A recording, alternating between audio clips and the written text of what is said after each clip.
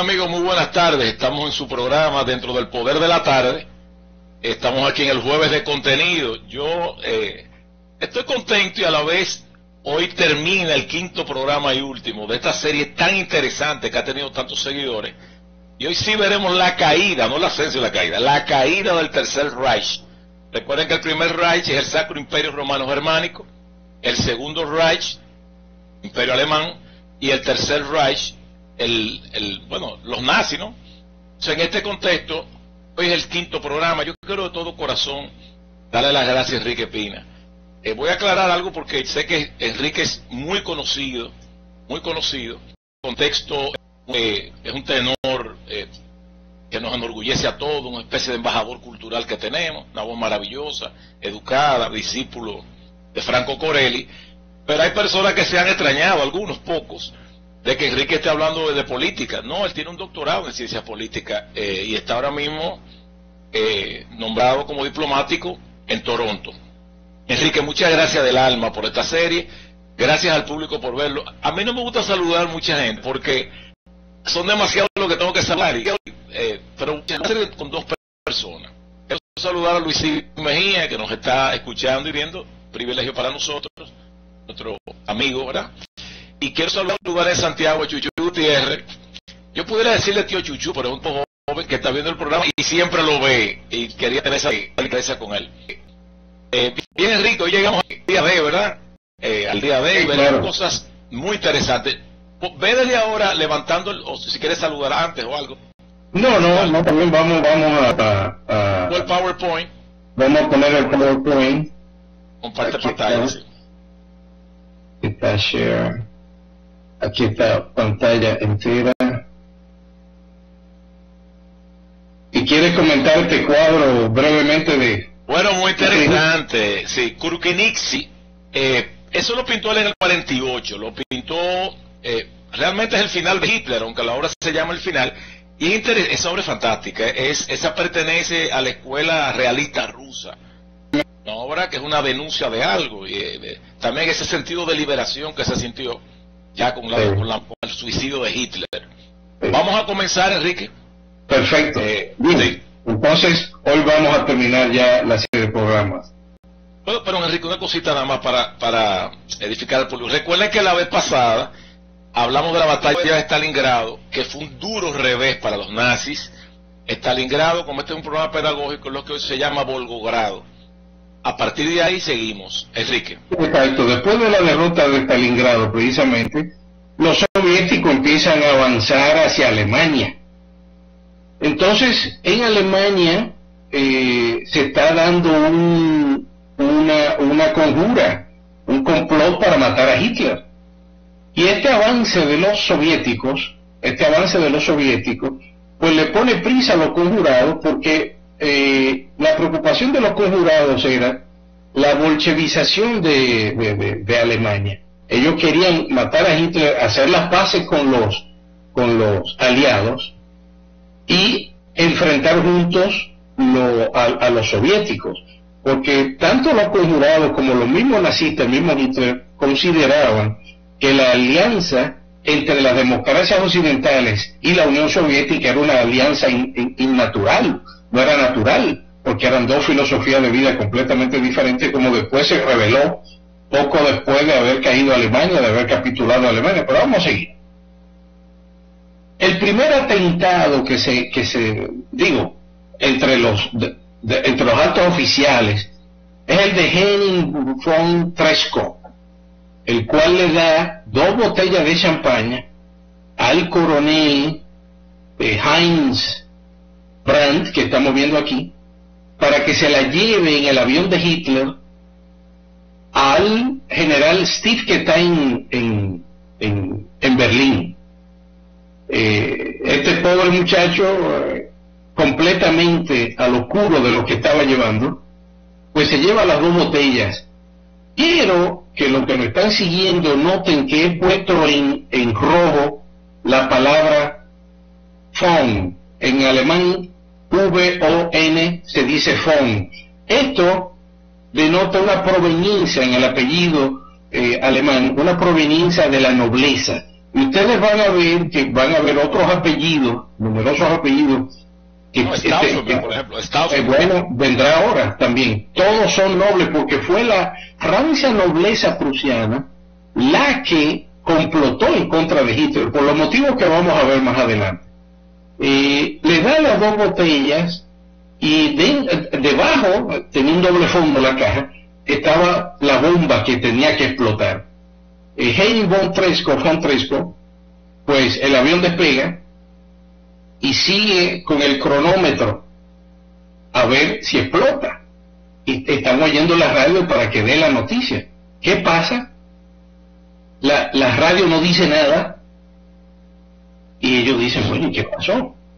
Resulta que la bomba no explotó por la baja temperatura que hacía en el avión, porque estamos hablando de los primeros aviones, hacía frío para los pasajeros, que había que viajar con un abrigo, que era invierno todavía más, porque el aire allá arriba es mucho más frío, eh, y la bomba no explota.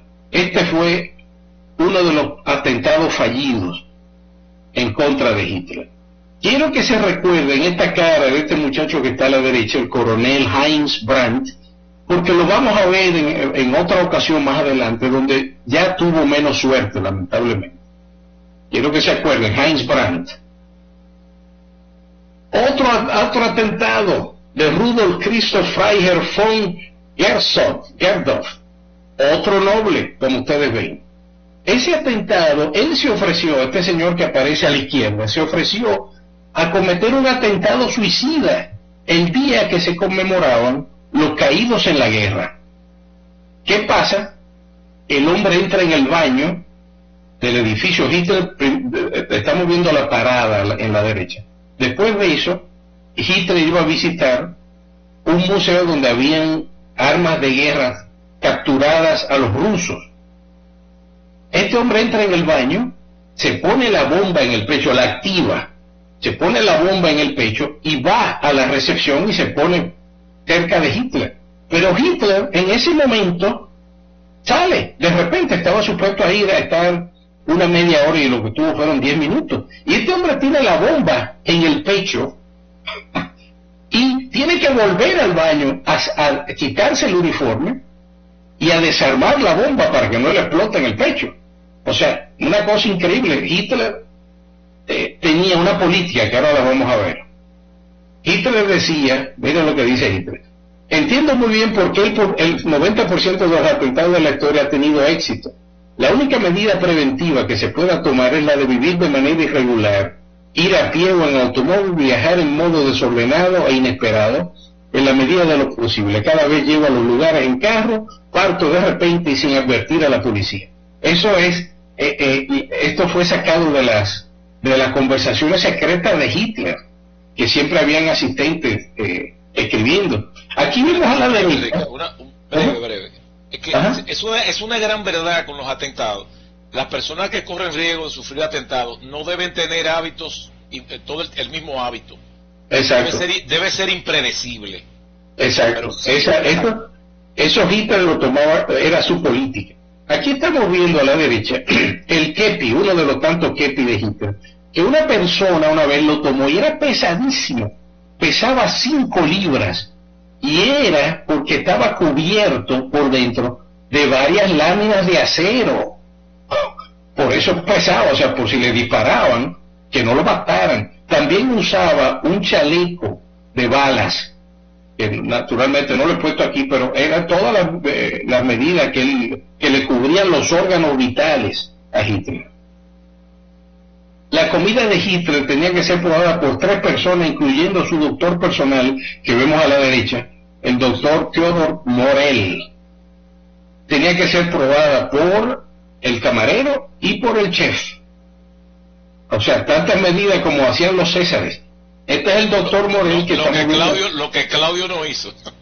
no, Claudio lo hizo, pero sí, ah. lo hizo, lo hacía, pero no importa, vamos a seguir. El doctor Morel es el que eh, el que le inyectaba los las sustancias estimulantes a Hitler para subirle la moral mientras estaba en periodo de estrés. Estaba siempre con Hitler. Y Himmler que era el, tercero después de Goering en, en el Reich, estaba al tanto de la conspiración y hizo un doble juego con los conspiradores, porque él tenía la esperanza, siempre abrigó la esperanza, y eso lo demostró al final, de, de él tomar el, de que a Hitler eh, ser el, jefe del Reich, que a Hitler lo mataban. Aquí vemos a la derecha los rostros de todos los conspiradores que después fueron fusilados. Y pero mientras tanto, para no despertar sospecha, iba pasando por las armas aquellos conspiradores que se exponían mucho. O sea, un doble juego. Este individuo no tenía escrúpulos de ningún tipo. Vamos a ver lo que pasó en el preludio al desembarque aliado en Normandía del 6 de junio del 44. Voy a tomar, aquí ustedes ven la flecha, esto que ven aquí es el paso de Calais. Tanto Rommel como el general, los dos mariscal de campo, von Roster, pensaban que el, la invasión iba a ser por aquí. ¿Por qué? Porque como ustedes ven es el punto más estrecho entre el continente, entre Francia e Inglaterra. Sin embargo, Hitler, con un olfato no indiferente, previó e intuyó que el desembarque iba a ser aquí. Esto es Normandía, esto que vemos aquí. Y efectivamente así lo veremos. El 5 de junio fue un día muy tranquilo. Rommel se fue a celebrar el cumpleaños de su esposa a su casa y al otro día tenía pensado seguir el viaje hasta, hasta Berchtesgaden a visitar a Hitler. Sea, una cosa muy, un día tranquilo como cualquier otro. Pero el 5 de junio, en la noche, al anochecer, pasó algo que no había pasado en los meses anteriores. Eh, que hay que saber que en los meses anteriores hubo muchas alarmas, muchas alarmas, toda la semana, dos por semana, pero el 5 de junio pasó algo que no había pasado anteriormente. Y es que la BBC de Londres empezó a emitir una gran cantidad de mensajes, o sea, normal, y eran mensajes cifrados a la resistencia francesa. Uno de esos mensajes cifrados fue decodificado y decía prepararse para la invasión. El, mariscal de campo Gerhard von Roster, como ustedes ven, otro noble, subestimó los mensajes y también subestimó los paracaidistas que ya estaban cayendo.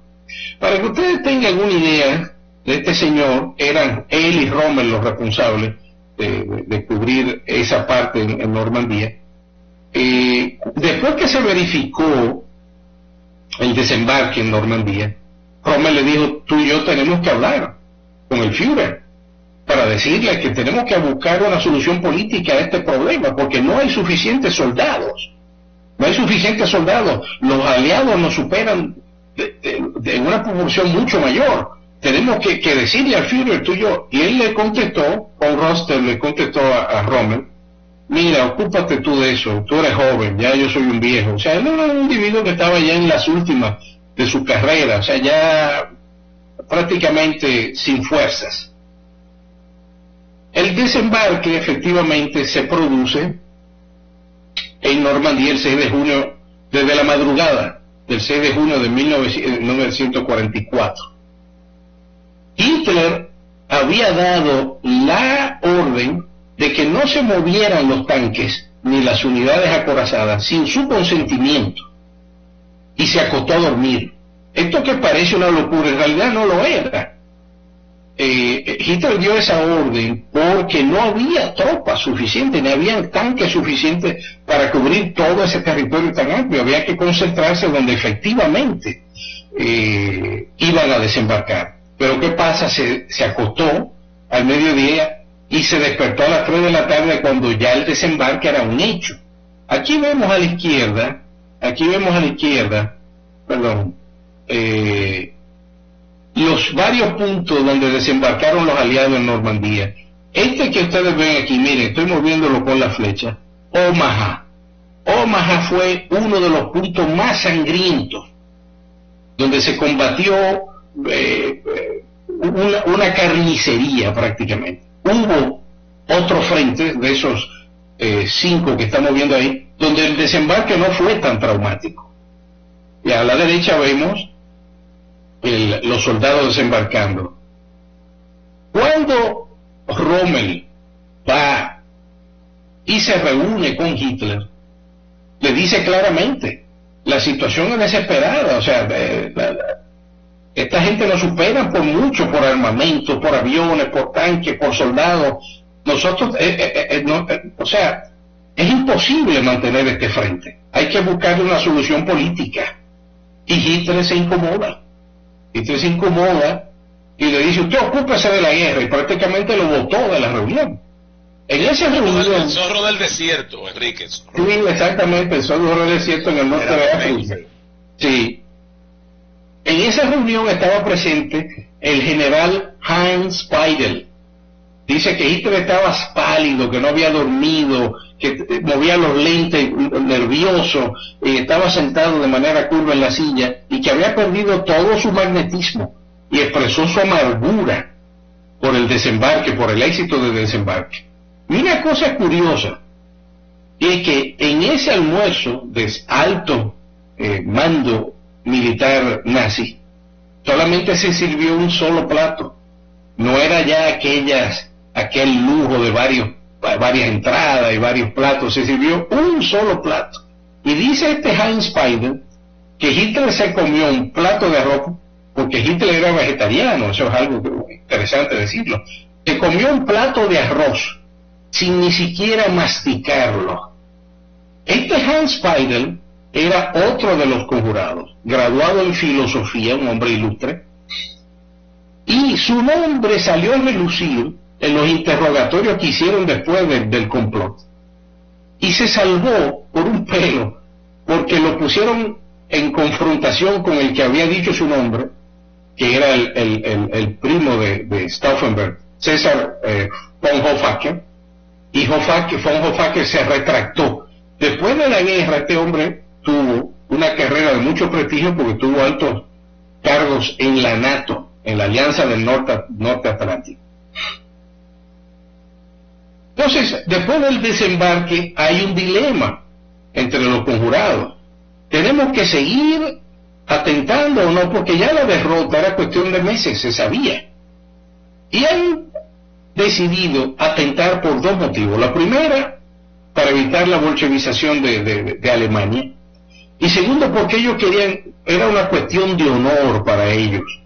Ellos querían dar al mundo la imagen de que había otra Alemania, que no todas eran nazis criminales. Y deciden continuar atentando tenían la esperanza de hacer una paz por separado con los aliados, pero lo que menos ellos eh, sabían era que había un acuerdo ya. Los acuerdos de Casablanca con, con la Unión Soviética y los aliados era de que no, eh, que era rendición incondicional y eh, ninguna paz por separado. Ya estaban de acuerdo, pero siguieron atentando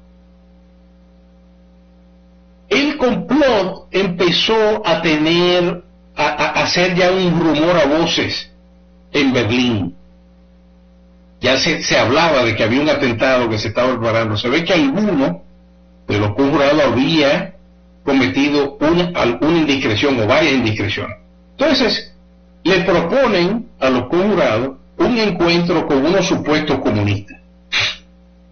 Esos cuatro conjurados van al encuentro y se sorprenden de toda la información que estos comunistas, entre comillas, tienen del complot. O sea, el círculo se está estrechando hacia los conjurados. y entonces entre esos comunistas había un agente de la Gestapo que denuncia a los cuatro conjurados, los cuales vienen fusilados. O sea, tenían que darse rápido porque ya estaban cerca. La Gestapo, la gente de Hitler estaba muy cerca Himmler sabía, pero como dije anteriormente, tenía el doble juego con la, con la esperanza de ser él el jefe cuando, cuando mataran a Hitler. Y ahora viene un golpe de suerte. este coronel Klaus von Stauffenberg es ascendido a coronel y asignado al jefe de Estado Mayor de Friedrich Fromm, un, un general, y tiene acceso directo a Hitler. Esto convierte a Klaus von Stauffenberg, a pesar de ser coronel, no general, lo convierte en el líder del complot prácticamente, por su posición de acceso a Hitler. ¿Quién era el conde Klaus Philipp Maria Justinian Schenk Graf von Stauffenberg? Era un hombre que venía de una familia noble, de, de rancia tradición militar. Su familia desde el siglo XIII, desde el 1200 venía su familia ya registrada de nobleza. Él, nació en un castillo. Sí, sí, sí, sí. Y había, había peleado, eh, eh, era descendiente de grandes generales de la guerra patriótica en contra de Napoleón. Había participado en Polonia en el 1939, en Francia en 1940, en Rusia en 1941 y en Túnez en 1943. Pero es en estas últimas dos campañas donde Klaus von Stauffenberg se convence de que a Hitler hay que matarlo. Primero en Rusia. ¿Por qué? Porque la campaña de Rusia, en la Unión Soviética, rebajó la estatura moral del, del soldado prusiano a una estatura de criminal. En la Unión Soviética se cometieron excesos de, miles y miles, no solo de judíos, sino de, eslavos muertos, eh, campesinos desarmados, entre los comisarios del pueblo de, muertos también, colgados. O sea, fue un horror que rebajó. Acordémonos que cuando tratamos la, invasión a la Unión Soviética, los generales protestaron por la directrices de, Hitler, de que rebajaba a los soldados criminales de guerra. Y en Túnez le pasa algo eh, que cambia su vida. Y es que ahí, en la etapa final del, del frente de guerra en norte de África, trabajando precisamente bajo las órdenes de Rommel, a quien, a quien conoce ahí, pues manejando un, jeep le cae una bomba que prácticamente lo hiere, le pierde el ojo izquierdo, pierde la mano derecha que hubo que amputársela y pierde dos dedos de la mano izquierda. O sea, prácticamente quedó inválido. Y en el hospital, hablando con su esposa, eh, le dice, mira, yo tengo que hacer un sacrificio. Yo tengo que volver al frente. Eh, yo necesito, yo necesito estar activo por nuestra sagrada Alemania.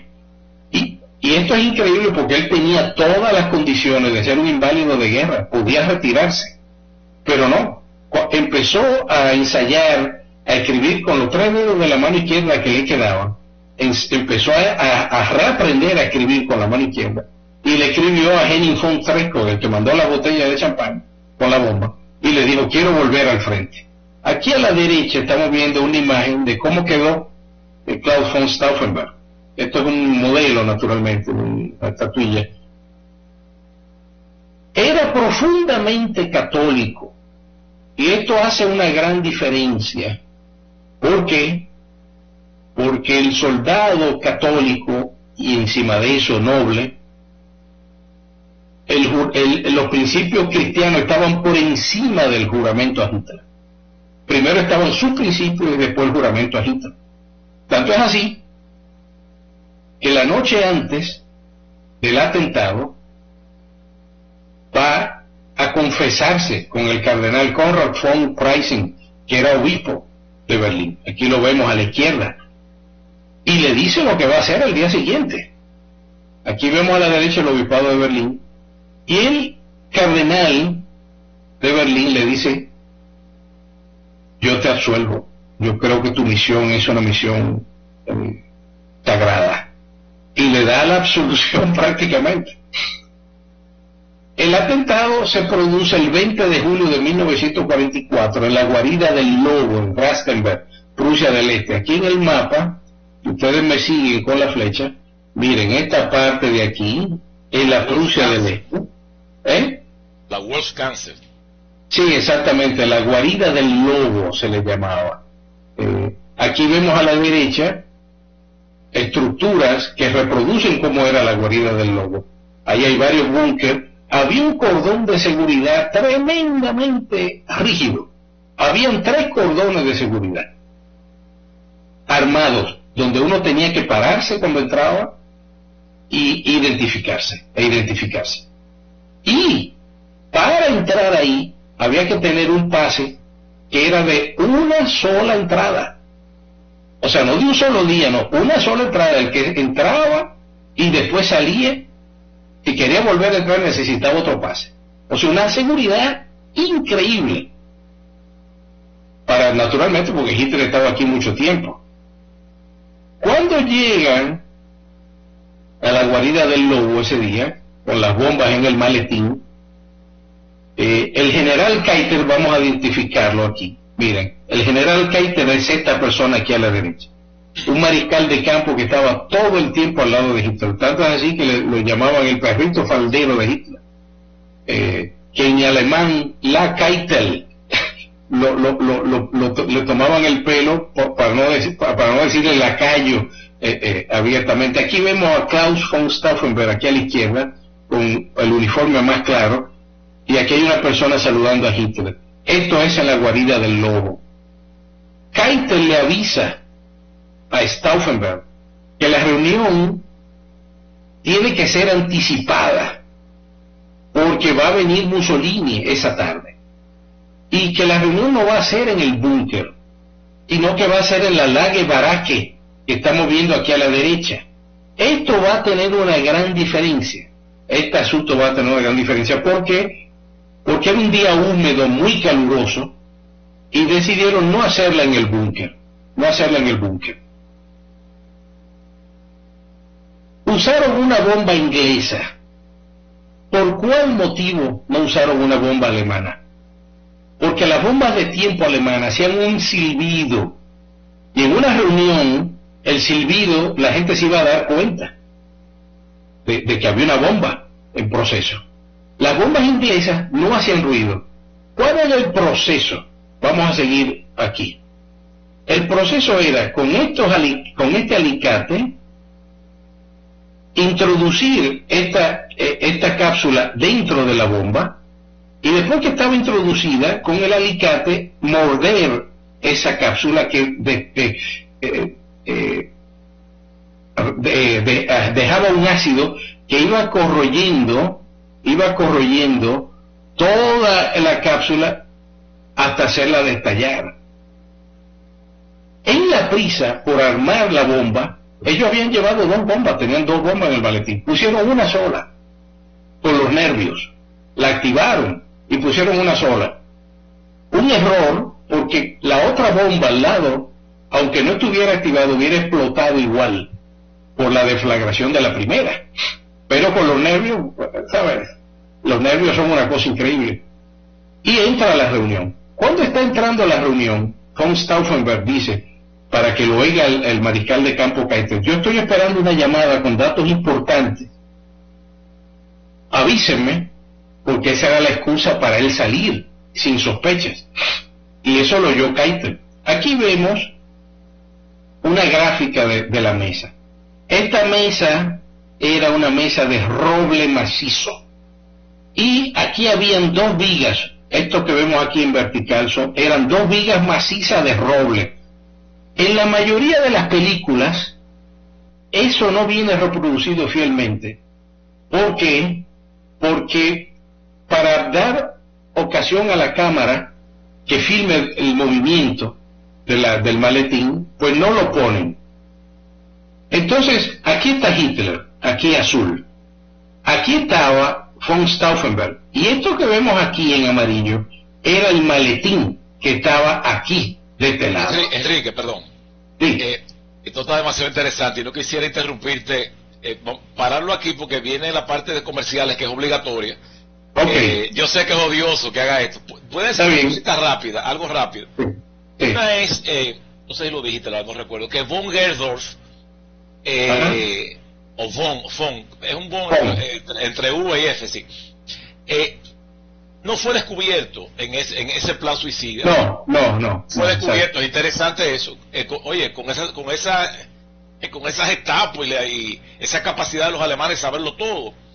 Y otro detalle ya artístico, pero estoy tentado a decirlo, eh, voy a decir Calais como lo leo, o Ca- Calais como lo dijo Pina lo correcto. Calais tenía que ser en, en el contexto del, del día de. ¿Por qué? Eh, porque Calais está en el Canal de la Mancha. El Canal de la Mancha es lo que va a separar el noroeste de Francia con la isla de Gran Bretaña. Era perfecto. Pero en Calais está para mí mi obra favorita de Augusto Rodin, que es Los burgueses de Calais, que tiene que ver mucho eh, con la historia, con la lucha entre los ingleses y los franceses, donde los nobles fueron humillados y obligados a andar en cadena vestidos de harapos. Es una obra que les recomiendo al público que la busque. Los burgueses de Calais. Algunos me dicen, pero yo la vi en Nueva York. No, hay como ocho réplicas en el mundo porque es bronce. Eh, bueno, vamos a parar aquí. Eh. Tengo que ser un buen soldado, estoy monitoreando. Yo no miro el celular para ver cosas y llamadas, lo miro porque me están monitoreando. Así Sí. es que vamos a los comerciales porque esto está demasiado interesante y prefiero que se trate completo. La Perfecto, parte de. Stauffenberg. Y me gustaría que tú comentaras la película que hace Tom Cruise, porque yo creo que él tuvo una excelente actuación, hasta se parece. mi- Mira, yo vi la película. después de los comerciales, Ok, ok, perfecto. para, para que sea todo ahí. Así Perfecto. que, bueno, producción, vamos a la pausa. Amigos, sigan con nosotros. Poder de la tarde, jueves de contenido. Eh, oye, ¿cuántos atentados tuvo Hitler en su vida? Porque lo de él debe ser un récord. Una pregunta. Dos, yo disfruté la película Valkyria. Inclusive, yo encuentro, excepto por el tamaño, porque Tom Cruise es un tipo bajito, yo encuentro mucho parecido en Von Stauffenberg eh, y el mismo Tom Cruise. El, el- toma un carácter ahí que tú crees que está viendo eh, Sí, a, este, a este conde, o sea, a este noble eh, guerrero. Y me gustaría que tú también eh, opinaras sobre eso. Y un detallito cultural, como tú mencionaste, eh, ah bueno, yo mencioné ya lo de Rodán y Calais, ¿verdad? Perdone, que le digo al público que lo busque, pensé lo tenía en la cabeza eso. Eh, contéstame eso, Enrique, esa parte de los atentados de Hitler. ¿Cuál Mira. no es exactamente cuánto fueron, como tú lo sepas, sí.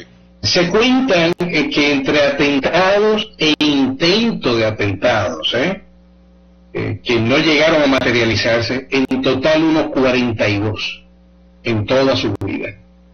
El primero se le hizo en el 1933, que se salvó de casualidad, porque en ese momento hubo que anticipar su vuelo de regreso a Berlín, él estaba en Múnich, hubo que anticiparlo por el mal tiempo y explotó la bomba media hora después que él salió del local, donde él estaba supuesto a estar hablando todavía. Se fue el primero de una serie de, de atentados.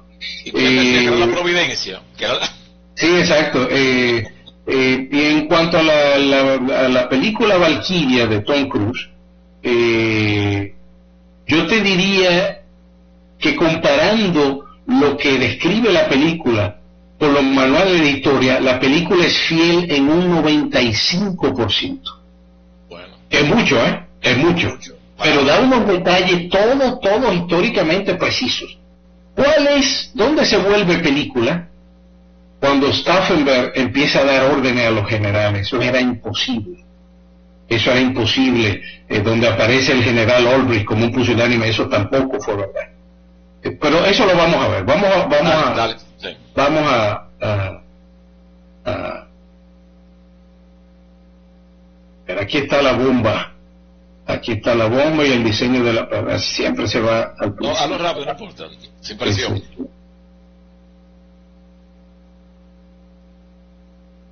Nos quedamos aquí. Esta es la sala de reuniones vista desde arriba. Estas son dos, una mesa de roble macizo, dos vigas de, mane- de ma- de- de roble macizo. Aquí. La, el maletín de von Stauffenberg que estaba aquí. Cuando él sale a, la, a, hacer la llamada, este es Hitler aquí. El maletín está aquí. Este que está aquí es aquel coronel Heinz eh, Brandt. Viene aquí, se tropieza con el maletín y es ah, Heinz Brandt que mueve el maletín hacia aquí. Estos que están en rojo, como ustedes ven, fueron lo- la- lo- los que murieron, porque la deflagración de la, de la, de la, de la bomba se expandió hacia la derecha y hacia el frente a los que estaban aquí. Si hubieran metido las dos bombas, ahí hubieran habido más muertos y Hitler no se hubiera podido escapar. Pero con los nervios eh, no lo hicieron. Vamos a seguir. Aquí vemos, esta es una toma de otra película, aquí vemos en las ventanas cómo la deflagración de la bomba pierde fuerza porque se sale por las ventanas. Eso fue una, una, eh, una característica que desfavoreció el atentado. Si lo hubieran hecho en un búnker sin ventanas, un búnker, hubieran muerto casi todos, incluyendo a Hitler.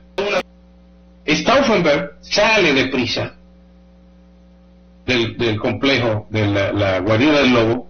La bomba que tenía el maletín, la otra la tiran en el bosque, que después la Gestapo la encontró, dicho sea de paso.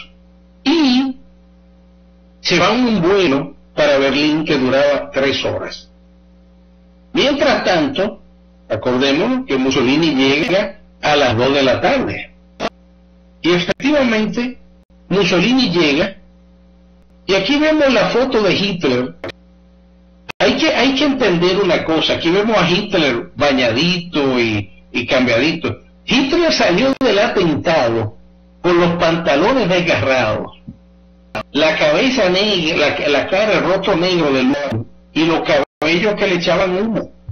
Y hay que ver las condiciones excepcionales de este hombre, que menos de dos horas de haberle hecho un atentado, se baña, se cambia, se viste bien, teniendo el brazo derecho afectado, los tímpanos afectados y la pierna derecha afectada también. Pero él sigue su agenda de trabajo. O sea, hay que reconocerle a Hitler unas condiciones excepcionales y una fuerza de voluntad indomable. Es una pena que un individuo con esas condiciones excepcionales haya, haya dedicado su, su carrera a, a, a, tanta maldad y a tanto resentimiento. Pero ahí lo vemos como si nada hubiera pasado, enseñándole a Mussolini que está a la izquierda los desastres que hizo la bomba. Entonces le dice a Mussolini, me ha salvado la providencia y tenía todos los motivos para creerlo, porque como dije anteriormente, había habido 42 entre intentos y atentados, todos fallidos,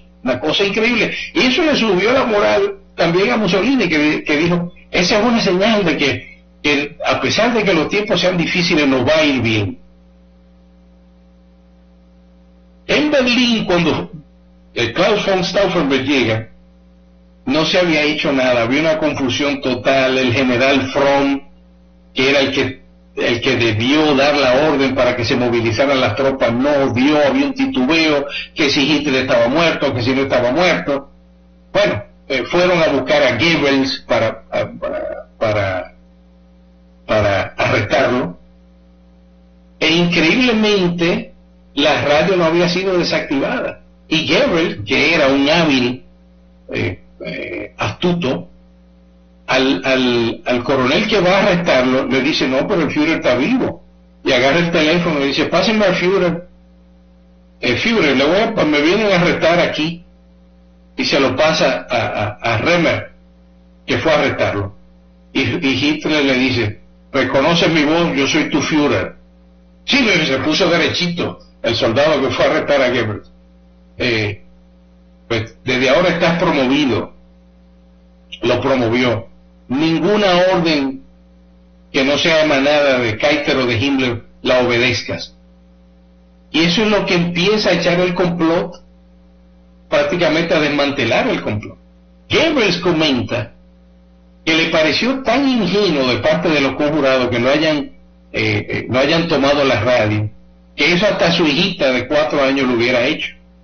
A la una de la mañana Hitler habla por la radio y es el tiro de gracia al, complot. Dice, yo soy el Führer, ha habido un atentado, yo estoy bien, ustedes reconocen mi voz, eh, estoy bien en salud, los conjurados van a ser eh, castigados. Y eso prácticamente es el tiro de gracia del complot. El general Friedrich eh, Fromm, que vemos a la izquierda. un de orden eh, técnico. Sí. El, producción, en un gesto gentil de ellos, por ejemplo, la próxima pausa va a ser a las 6.30, o sea que te quedan 33 minutos para que Perfecto. puedas explicar muchas cosas. Y gracias, a producción por eso, sí. Gracias producción, gracias. Entonces el general Freddy Fromm, titubeante, arresta a los conjurados. Pero él estaba complotando también, perdón. Sí, también, también, pero él dice, bueno, esto fracasó y él pensaba que se iba a salvar. Entonces se inventa de que, de que hubo una corte marcial, baja al patio de los conjurados y los fusila. Ahí vemos a la derecha a Tom Cruise y, los tiros, ¿dónde le dieron los tiros a von Stauffenberg?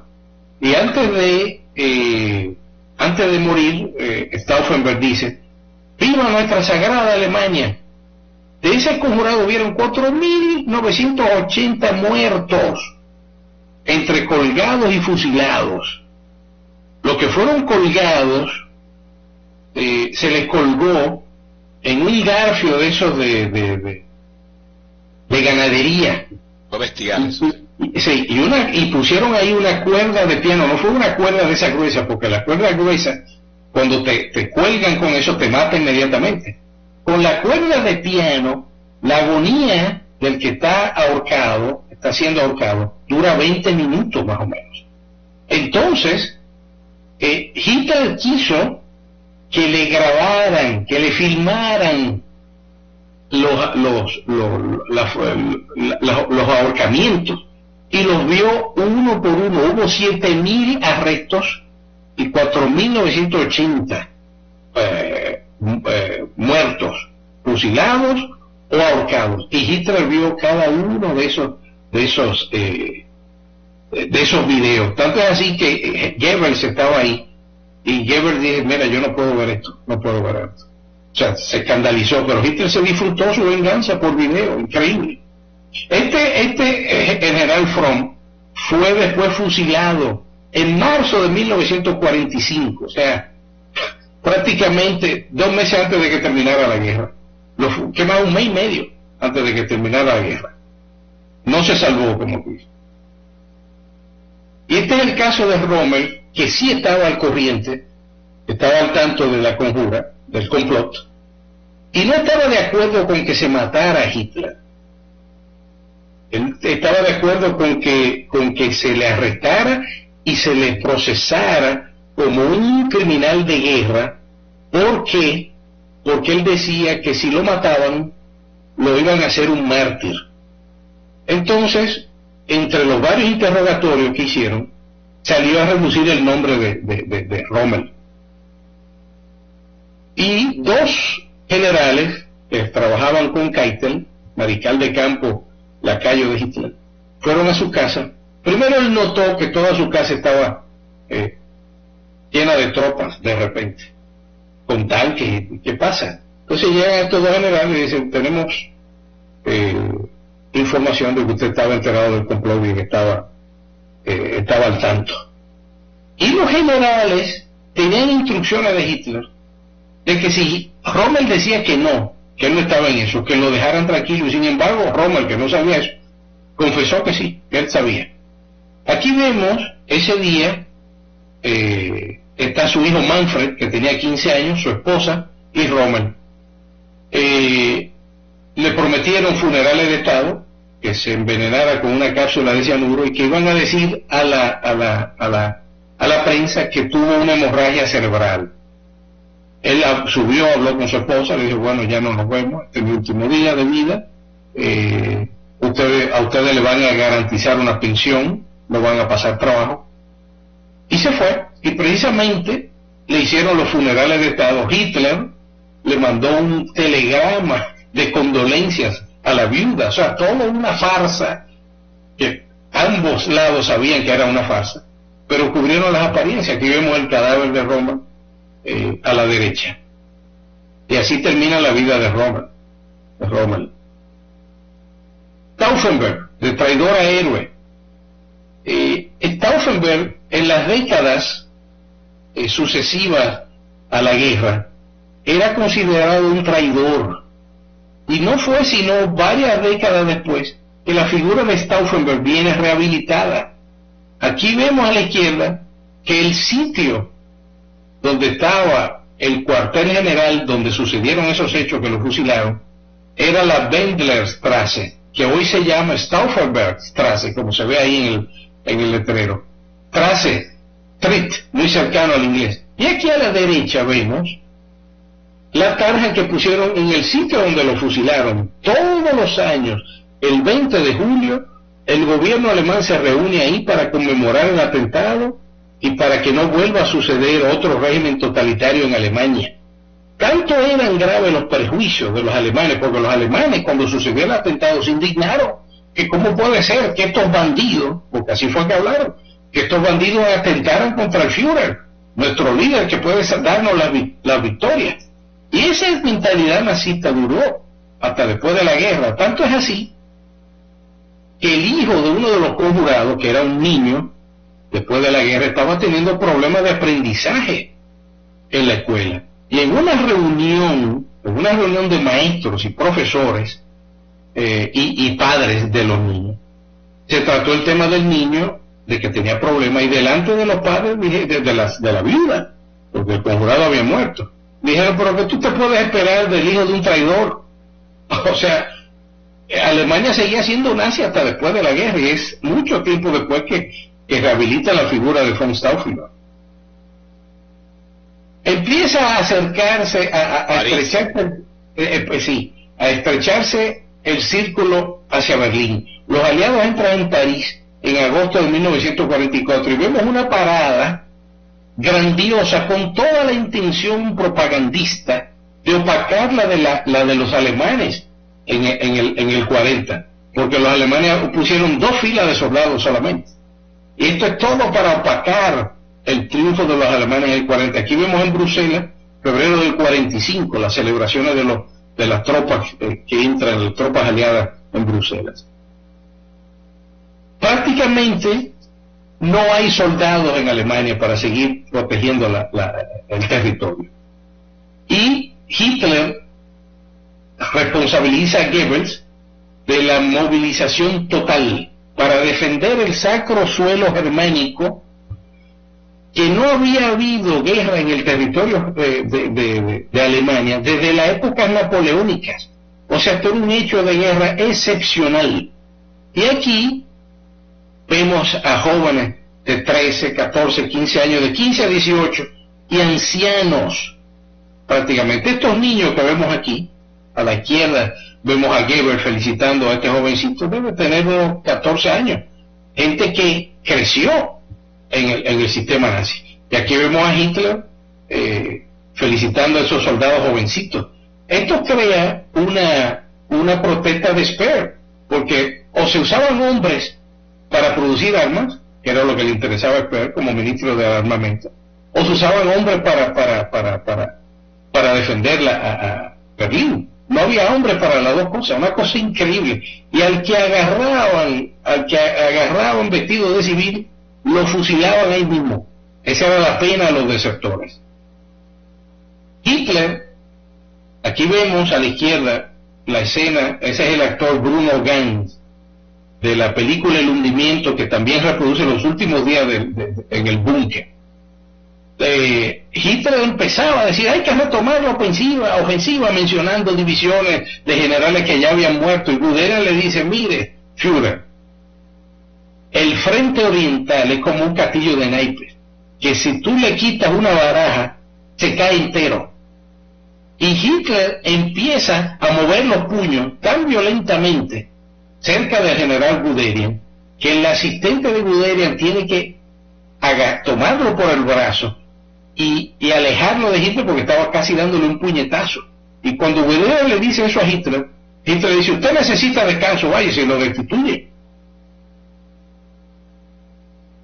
El 30 de enero del 45, esa es otra escena de la película El hundimiento, esa no es Hitler, para que no se confunda. El 30 de enero se celebraba el año número 12 de la salida, de la subida de Hitler al poder. Aquí vemos a Albert Speer, que le manda un reporte, precisamente ese día, y le dice, los rusos han ocupado las, las minas de carbón de la Silesia en Polonia.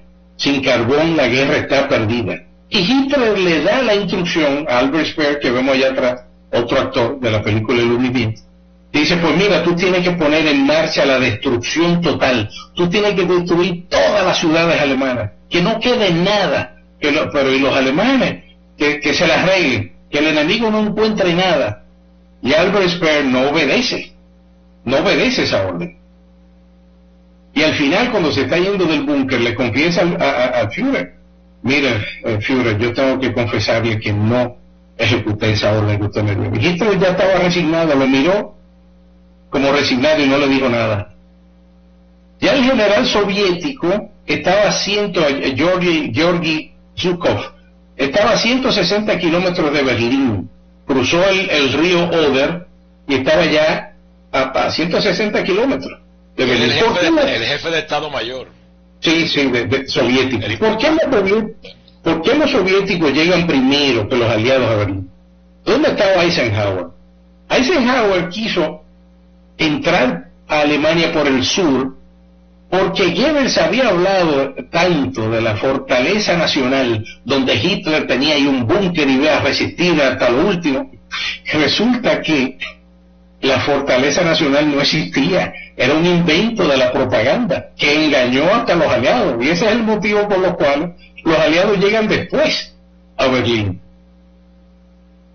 Una noche, en medio de una gran depresión, Goebbels le lee a Carlyle a Hitler en el, pasaje donde Federico el Grande de Prusia está derrotado por la zarina Isabel eh, Federico el Grande de Prusia, perdón, que está derrotado por la zarina Isabel de Rusia.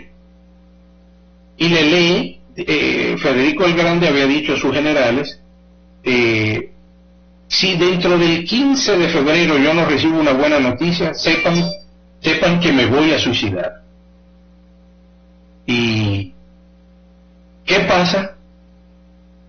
El 12 de febrero, tres días antes de la fecha que él tenga previsto suicidarse, muere la zarina Isabel. Y quien la sustituye era un admirador de Federico el Grande de, Prusia y se alía con él. Y Carla él dice, oh general valiente, detrás de estas nubes oscuras está el sol que brillará con tu victoria. Y Hitler estaba en lágrimas, llorando, porque el pasaje era tan apto a ese momento. Y entonces en ese momento... nada más, eh, eh, Enrique, digo, por, para hacerlo pedagógico. Sí. Isabel, Isabel eh, de Rusia, era hija de Pedro I el Grande en su segundo matrimonio. La, la madre de esa muchacha, digo, muchacha no, murió hace tiempo. La madre de la zarina, que es cierto, muere. O sea, hubo, algo fortuito para ese gran hombre que fue Federico el Grande, que escribió el antimaquiavelo y que propugnaba por lo que se llama el, despotismo ilustrado, igual que Catalina la Grande, que después va a subir. Y ella era hija de una campesina polaca, o sea, Isabel de Rusia, porque se volvió loco el zar Pedro por ella, dejó sí. al esposo y se casó con la que, la que fue mamá de ella, madre de ella. Eh, no, para continuar, pues son datos históricos que me gustan, entonces sigue. Sí. Pues entonces, ¿qué pasa? Hitler está en lágrimas. Y en ese momento se acuerdan de que hubo un horóscopo que predijo la República de Weimar, la subida de los nazis al poder, las victorias militares, y fueron a buscar ese horóscopo en uno de los tantos archivos de Himmler.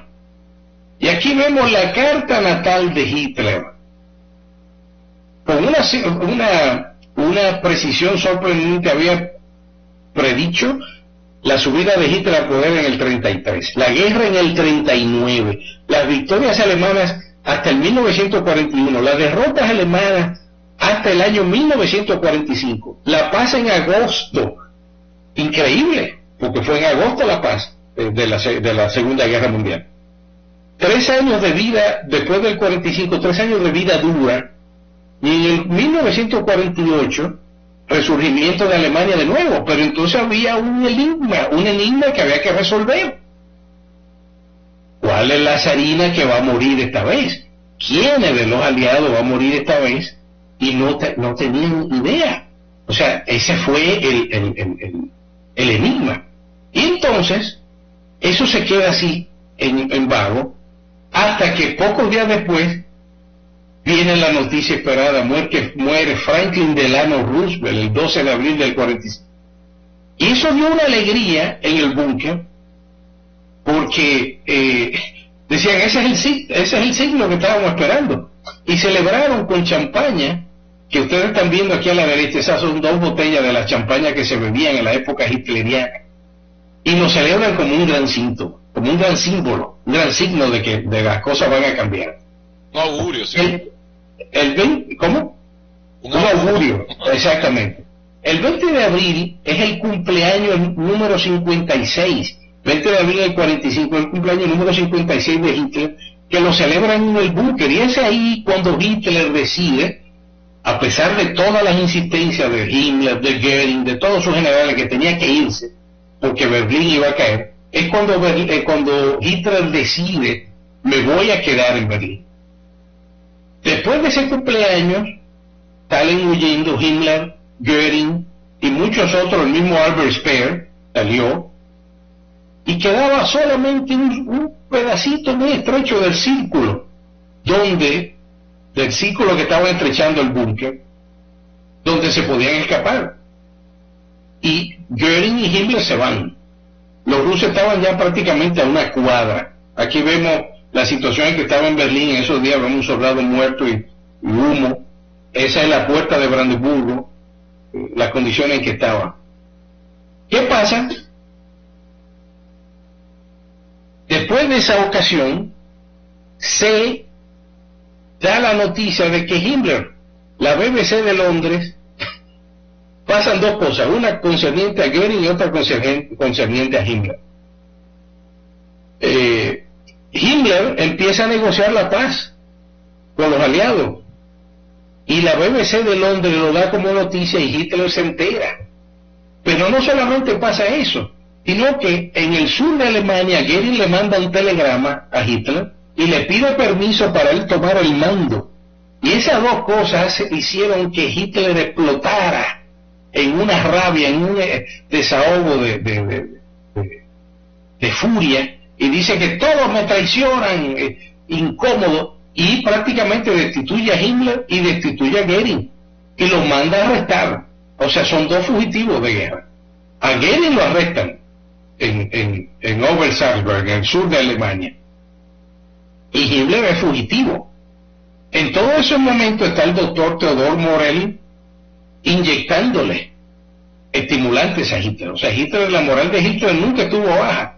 Eh, siempre estuvo mandando divisiones porque estaba endrogado.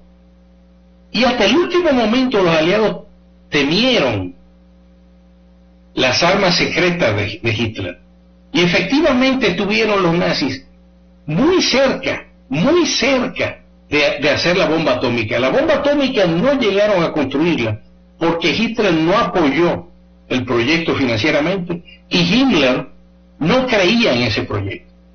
Y tomó los científicos y los usaba para otras cosas pero los nazis estuvieron a un, a un milímetro de hacer la bomba atómica. Que si hubiera sido eso, bueno, hoy hubiéramos estado, los alemanes hubieran ganado la guerra, y hoy hubiéramos estado todos hablando alemán en vez de inglés. Pero, lamentablemente, los errores se pagan caro. El caso del general Hermann Fegelein.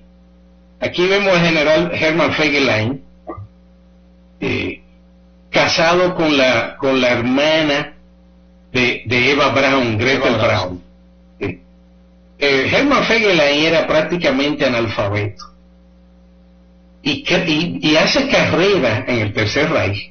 Hace carrera porque era un gran entrenador de caballos y es el que pues, a Himmler lo impresiona por un tipo alto, buen mozo, todas las mujeres enamoradas de él. Y era un tipo sumamente carismático, muy sincero. Digo, peleando en Rusia, yo sentí un miedo tremendo. Digo, así, así una reunión, o sea, era muy franco, franco que rayaba hasta la ingenuidad. Pues, Hermann Fegelein, que se casa, que es el cuñado de Hitler prácticamente, casado con la hermana de Eva Braun, eh, se ausenta del búnker, pide dos carros y no regresa al búnker. Se fue a pie después, dijeron que lo acompañaran hasta un punto y se fue a pie a su casa Y cuando llega la noticia de la traición de Himmler, eh, Hitler dice, ¿dónde está Fegelein? ¿Dónde está? Y lo van a buscar. Y lo encuentran en su casa con documentos donde estaban ahí las intenciones de Himmler, su jefe, de negociar con los aliados. O sea, él sabía que Himmler lo iba a traicionar a Hitler. Lo encuentran vestido de civil con su amante, no con la hermana de Eva Braun, vestido de civil con un montón de joyas. O sea, el hombre estaba planeando ya su fuga. Lo toman, lo toman y, y prácticamente lo llevan al, al, al, al búnker y Hitler lo condena a muerte. Lo suben al jardín de la Cancillería, porque el búnker estaba abajo de la Cancillería. Y ahí lo matan como un perro, prácticamente.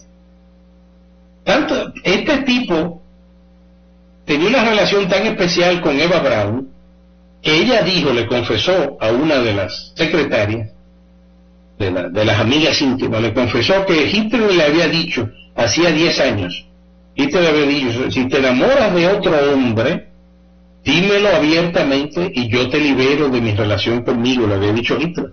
Y Eva Braun dijo, si yo hubiera conocido a Fegelein 10 años antes, Fegelein hubiera sido ese hombre por el cual yo hubiera roto mi relación con Hitler. Tanto es así, tanto era ambigua esa relación de Eva Braun con eh, Fegelein, que una vez bailando en el búnker, Fegelein le apretó al pecho y se quedaron mirando muy de cerca a los ojos. No se besaron naturalmente, pero todo el mundo decía, Eva Braun tiene una relación que va más allá de una simple amistad con este hombre. Su cuñado. Eh, sí, su cuñado, pero más que cuñado. El 29 de abril, el, 29 de abril Hitler decide casarse con Eva Braun. Y la celebración se da en el búnker. Había sido su amante durante un montón de tiempo. Eh, montón de tiempo. Y estaba, no participaba de las ceremonias oficiales porque el pueblo alemán estaba convencido de que Hitler era, era, soltero y que estaba casado, dedicado a su Alemania, a su adorada Alemania. Bueno, pues ese día ya Hitler decide dar el paso, eh, porque Eva Braun lo alcanzó en el búnker, igual que Claretta Petacci. Y hicieron el matrimonio, se casaron, celebraron con bizcocho y todo, eh, y empezaron a recordar los, viejos tiempos, los viejos buenos tiempos, de cuando él fue testigo de, del matrimonio de Goebbels, y estaba todo el mundo contento, aquí vemos a la derecha la fiesta que hicieron, hasta que Hitler se puso ya sombrío y dijo, se acabó el nacionalsocialismo, todos me han traicionado, para mí morir será un alivio. Y entonces empezó todo el mundo a llorar, a llorar. En, ese momento, ese mismo día, había llegado la muerte, había llegado la noticia de la muerte de Benito Mussolini y de Claretta Petacci, y de los ultrajes que había recibido el cadáver de, Mussolini y de Claretta Petacci en Milán, en la plaza, de la turba airada. Y él siempre... dantesco eso, dantesco. y además él siempre vio en, en el destino de Mussolini, siempre vio lo que le lo que le iba a pasar a él. Siempre eh, tuvo ese temor. Como vida paralela. Sí. Hitler se despide de sus colaboradores. Aquí a la izquierda se ve la escena del hundimiento. El actor Bruno Gans, que hace de Hitler, se despidió de cada uno de sus secretarias, que eran varias. A cada una le entregó una ampolleta de cianuro. No solamente, eh, o sea, tenía tres perros, entre ellos su pastor alemán Blondie, que había tenido cachorros en el búnker, pues la envenenó, envenenó a los otros dos perros. No sé, los manuales no hablan de qué pasó con los cachorros, pero imagino que lo, mataron o, se, se, criaron, no sé cómo. Y después Hitler se retira en su apartamento con Eva Braun.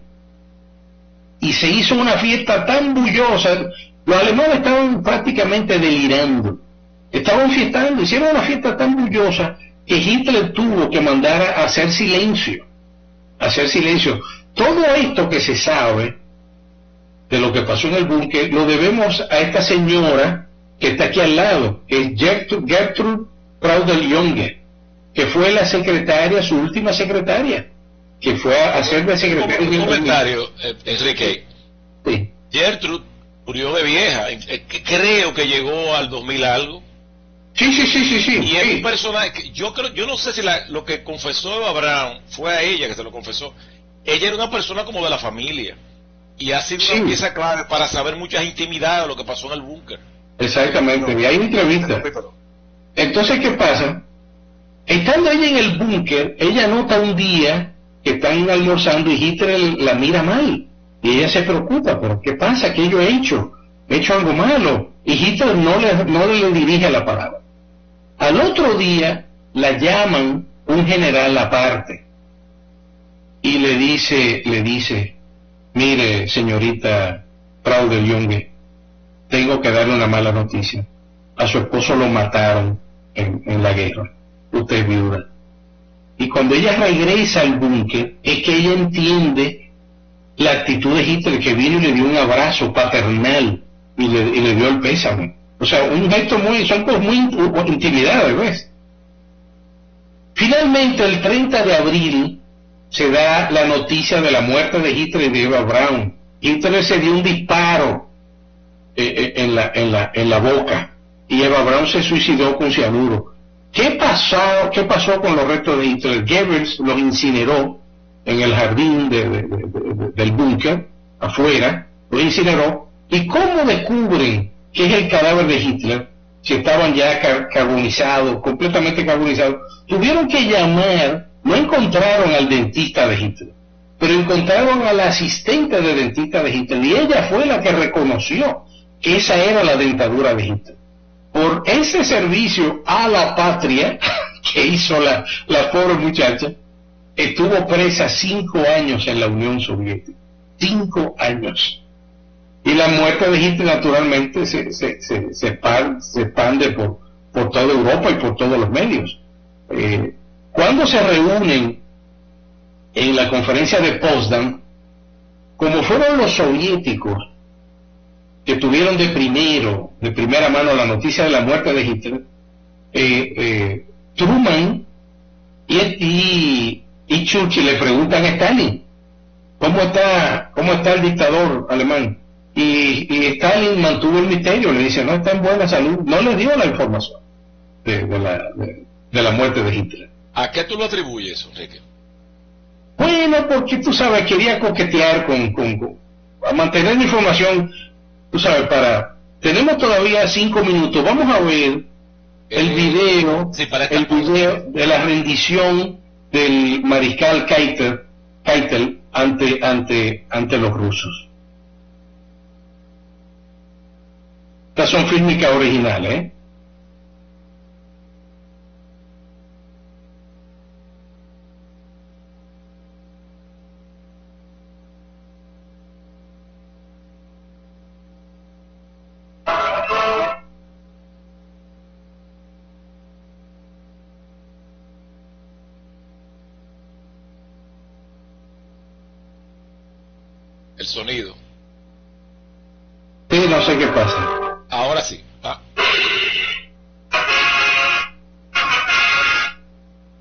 Poner compartir sonido.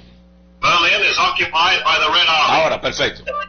Trains of martial music, the Red Army stages a review in Berlin.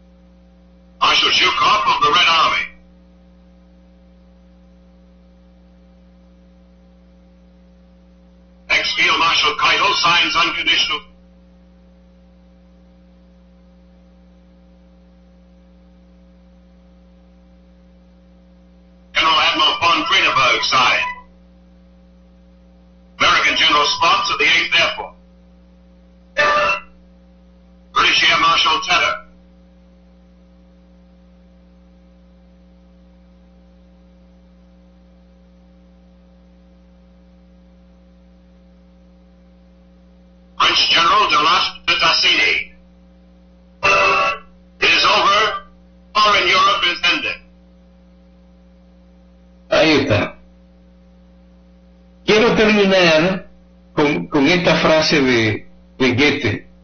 A menudo es el poeta nacional alemán. A menudo he sentido una amarga tristeza al pensar en el pueblo alemán.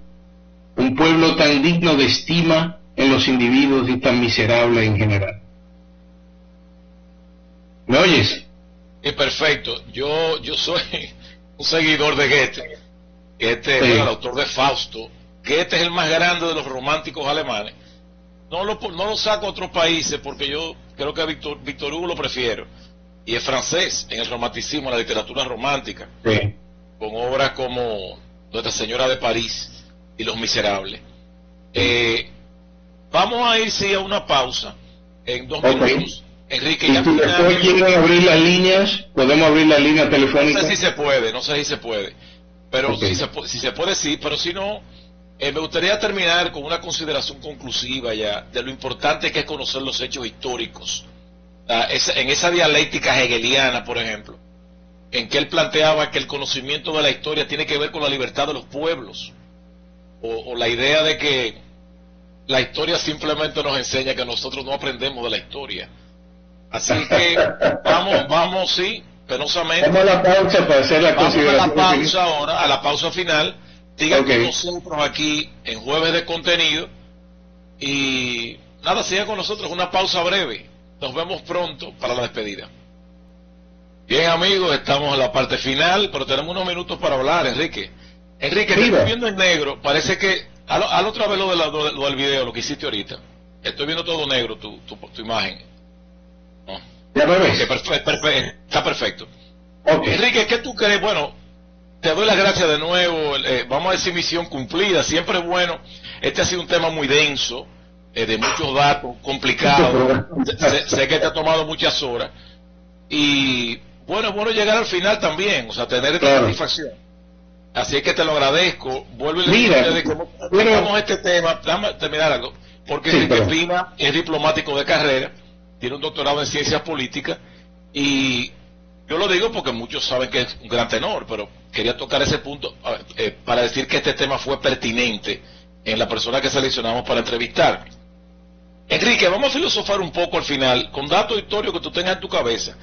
Hay Sí. un capítulo que a mí me atrae mucho de la historia, es lo que se llama, eh, eh, tiene que ver con el mundo de las posibilidades, los sí de la historia. Mira, la BBC de Londres, que esto fue genial, hace muchos años hizo un anuncio, eh, un anuncio, perdón, un concurso de anuncios. No voy a hablar de todo lo que concursaron, era genial, pero el que ganó, el que ganó, tomó, inclu- incluyó a Margaret Thatcher, el que ganó tomó la, la figura de Hitler, pero no él, sus padres. Y decía, este fulano de tal, este fulano de tal, esos son los padres de Adolfo Hitler. Estos son los padres de Benito Mussolini. Este- incluyó al final a Margaret Thatcher. Estos son los padres de Margaret Thatcher. Y el anuncio era de preservativo. Dice, si, si tan solo esa noche esta gente hubiera usado el preservativo marca tal. Óyeme, fíjate qué pasa, lo genial que está eso. Si no tiene relaciones esa noche, si, si no es embarazada la madre de Hitler esa noche, no nace Hitler, nace después otro niño con otro plano genético, con otro genoma. La historia es una cosa tan frágil a veces.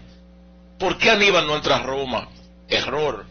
O sea, las veces que pudieron matar a Hitler, lo que se hubiera evitado el mundo, o si ellos hubieran desarrollado el proyecto científico de hacer la bomba atómica. El rumbo, el- el rumbo de la historia se ha visto a veces al tris de una decisión que cambia totalmente el curso.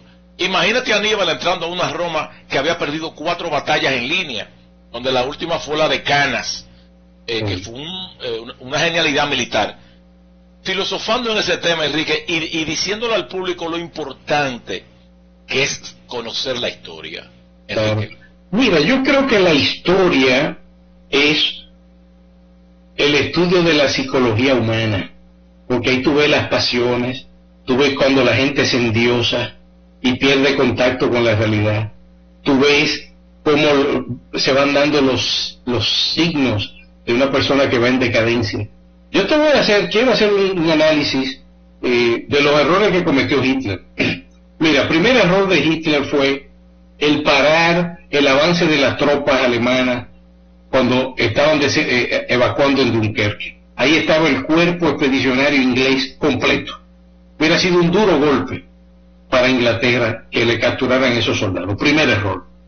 Segundo error, cuando invaden Yugoslavia y Grecia, que tenían el poder de, controlar el Mediterráneo y llegar hasta el canal de Suez, porque todos los soldados ingleses que estaban en el norte de África se refugiaron en Creta y todo el norte de África estaba descubierto. Hubieran podido dominar el canal de Suez, tomar Egipto y lo que era peor aún, tomar Gibraltar y bloquearle a, Inglaterra el suministro de petróleo. Del Mediterráneo, claro. Claro, el control del Mediterráneo completo, porque entre el norte de África y el, estrecho de Gibraltar son 11 kilómetros, eso es, un cuello de botella, y eso, se controlaba facilísimo. Ese es otro error.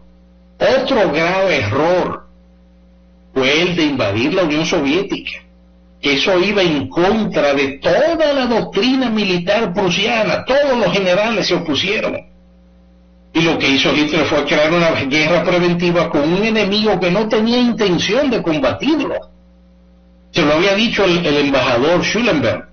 El embajador alemán se lo dijo a Hitler. Mire, en la Unión Soviética no hay intención de combatirlo. Si Hitler hubiera, no hubiera cometido esos errores y hubiera consolidado su poder en Europa, hoy en día hubiéramos todos estado hablando alemán y no inglés. ¿Sabes? O sea, fueron errores. Fíjate, fíjate que Joseph Stalin, Stalin no esperaba que Hitler lo invadiera. y, él fue advertido en varias ocasiones. Ese era otro problema también. Eh, claro. Con problemas, claro. Y, otra cosa de la historia es que solamente se conocen las atrocidades de los alemanes. Pero Stalin mató tantos millones de gente como Hitler. millones. ¿Sabes? Y, judíos también, pero de la gente que ganaron la guerra, de eso no se habla. Yo creo que de aquí a unos 100, 200 años, la perspectiva de esa Segunda Guerra Mundial va a ser completamente diferente. Porque mira, eh, la máquina Enigma, por ejemplo, la decodificación de la máquina Enigma que hicieron los ingleses, eso se vino a saber, se vino a declasificar como unos 30 años después. Y por eso lo sabemos. Hay muchas cosas que todavía no están desclasificadas y que todavía no conocemos.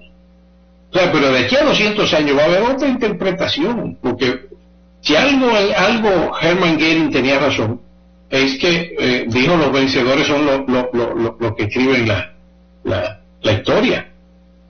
¿Ves? O sea, si Julio por ejemplo, ¿cómo? Vamos, si, iba Julio César, qué coincidencia algo. Mira, si Julio César pierde, si Julio César pierde en manos de Pompeyo, Julio César hubiera sido un, delincuente, porque violó muchísimas leyes, cogió el erario del Estado para financiar su propia guerra civil. No, y cruzar el Rubicón fue una... Una, eh, una, fue una, fue una, fue una, una, ¿cómo te digo? Una violación de las leyes romanas. Y mire, otro detalle del que malinterpreta la historia. La, historia, eh, existe, una escala histórica, es que hay algo que se puede hacer en este momento, pero en el otro no. Y, le, le, pasa a Aníbal, que fue uno de los más grandes generales que ha tenido la historia. ¿Qué pasa con César? ¿Por qué Plutarco? ¿Por qué Plutarco, al escribir las vidas paralelas, eh, coloca a Alejandro Magno paralelamente a Julio César? ¿Por qué lo coloca? Bueno, porque Julio César tenía ínfula de ser Alejandro Magno, pero él no era Alejandro Magno, ni era el mismo momento. Eso que los norteamericanos llaman el timing. No era el mismo momento. Alejandro fue magnánimo con las hijas de Darío, las consideró princesa, pero Julio César no debió ser magnánimo con sus enemigos. Los perdona y ellos lo matan en el Senado. Ellos lo matan. cometió un error. Eh, otra vez te veo en negro, así que no sé lo que pasa. O sea, cometió un grave error. Sí. Espérate. Después me bien, me ves ahora. ¿Me ves ahora? No. ¿Y ahora? ¿Ahora? sí. Ahora sí. Mira, por ejemplo, yo les, recomiendo al público, tenemos unos minutos, yo les recomiendo al público la lectura de una obra de Stefan Zweig. Podemos, sí, podemos Zweig. Nosotros decimos soy, pero es Zweig. Sí, Zweig. Que es más momentos estelares de la humanidad. Muy bueno. de humanidad. Pero específicamente la caída de Constantinopla o Constantinópolis, 1453. ¿Por qué? Señores, la cantidad de cosas que coincidieron y confluyeron. Lean el libro, pues no voy a poner a explicarlo todo ahora. Claro, que fueron claro. coincidencia. Hasta la ayuda que mandó el Papa, el viento se paró y no llegaron los barcos de vela.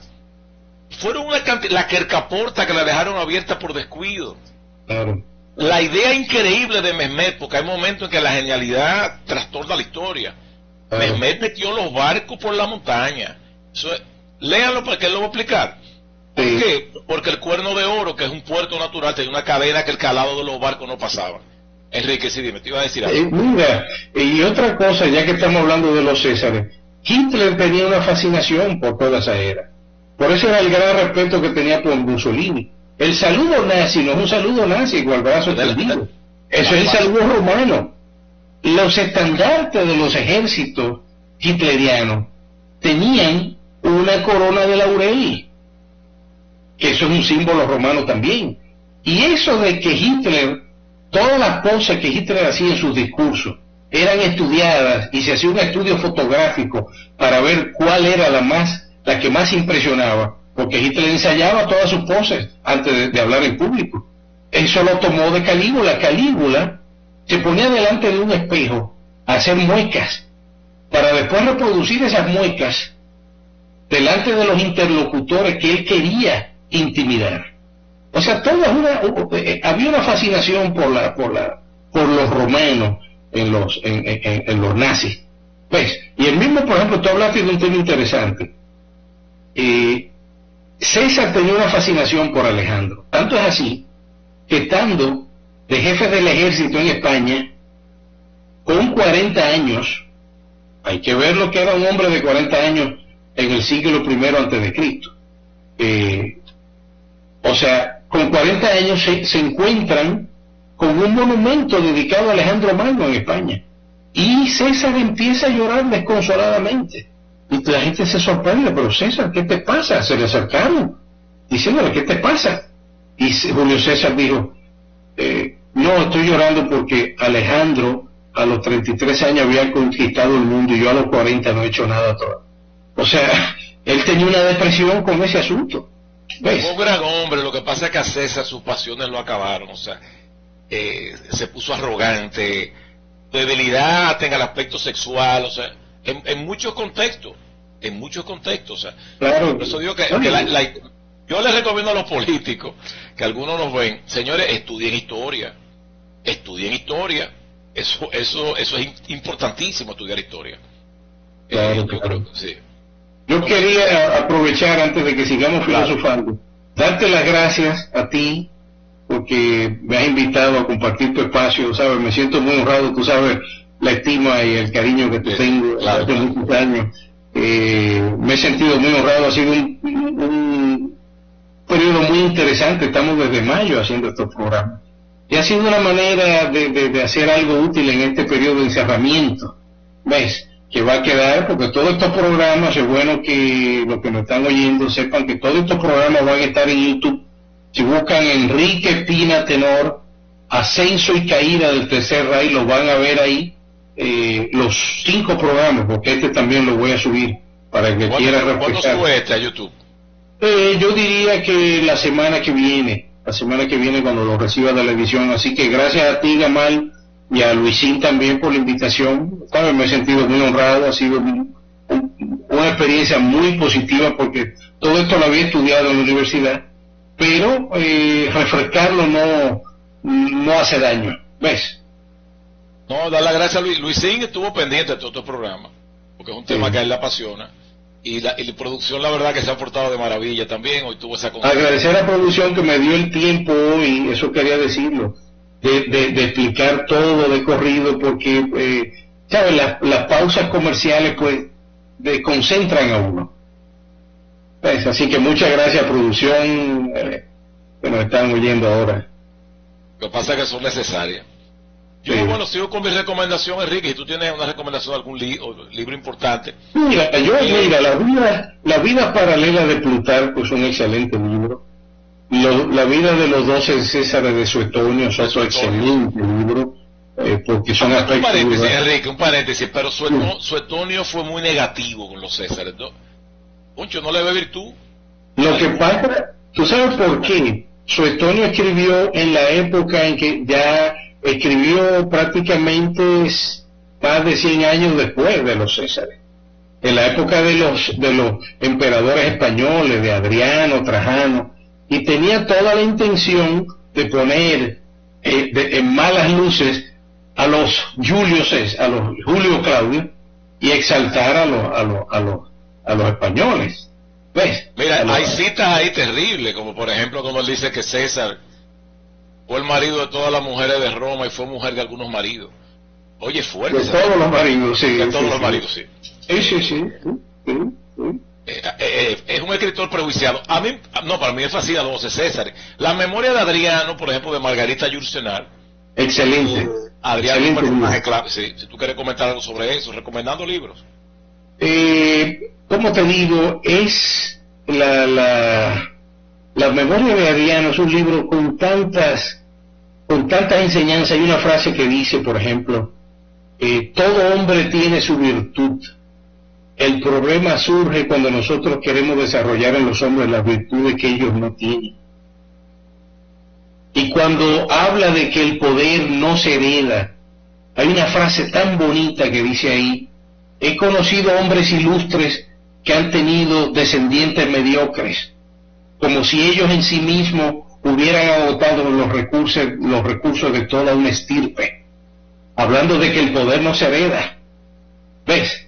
O sea, son, tiene, tienen tantas enseñanzas la, memoria de Adriano, que es un libro que te hace meditar, porque te presenta ese, ese, ese mundo romano ya que percibe la propia decadencia, la propia debilidad, porque es Adriano el primero que empieza a construir murallas, porque ya percibe que no hay tantos romanos para defender tan vasto territorio, y el que, el que retira las fronteras, bueno, eh, eh, el imperio romano con Trajano, que es el que vino antes de, de Adriano, eh, llegó hasta Irak. Y fíjate, Adriano no comete el error, sin mencionar nombres, porque esto es un patio, pero de, de que líderes dominicanos importantes han cometido. Él formó su sucesor. Tres generaciones, Antonino Él Pío él- y Marco exacto. Aurelio. Él los formó. O sea, él no creía en eso de que después de mí el diluvio. No, claro, claro que no, claro que no, claro que no. Recomiendo mucho también a eh, historiadores como Arnold Toynbee, hay demasiados historiadores. A Stefan Zweig lo, lo cito mucho. Spy. Ay, sí. Lo cito mucho porque, que mira, quizá él vino al país alguna vez, tengo que averiguarlo, porque él era muy amigo de Er- Erwin Walter, Walter Palm, que vivió Ajá. aquí y escribió el mejor libro sobre el monumento de la, de la Hispaniola. Y lo recomiendo porque a mí me gusta la persona que busca la causa de las cosas, lo causal, no, no el simple dato frío de la historia. Claro, Y claro. a veces, o pero él se mete a veces a hablar hasta de lo que está pensando un individuo. Eso, eso es una biografía que Claro. se hace emocionante aunque él se equivoque. Nos Pero queda mira un una poquito cosa- más si tú quieres ya Sí, despedirte. Quería decir, quería decir algo de la memoria de Adriano. Eh, eh, eh, Margarita Yourcenar eh, dice, Adriano no estaba de acuerdo con la política expansionista de Trump. Pero dice, yo nunca me retiré porque el estar presente en las reuniones me daba la oportunidad de también de ser árbitro e influir. O sea, él eh, echaba el pleito desde adentro para influir en la política de Trajano. Él estaba completamente de acuerdo, digo, en desacuerdo con la ampliación de las fronteras, ¿ves? Son cosas interesantes. Eso no se dio con, los- con los maricales de campo na- nazis. Ninguno se opuso a Hitler. Todos se doblegaron. Y esa es la mancha de la historia. Nada, un ¿Eh? minuto final. eh, esto- Repito, misión cumplida. Muchas gracias. Gracias a ti, hermano. Muchas gracias al público, que hay mucha gente que ha seguido esta serie fielmente. Y Gracias. Nos, nos despedimos, gracias a Luisín Mejía también.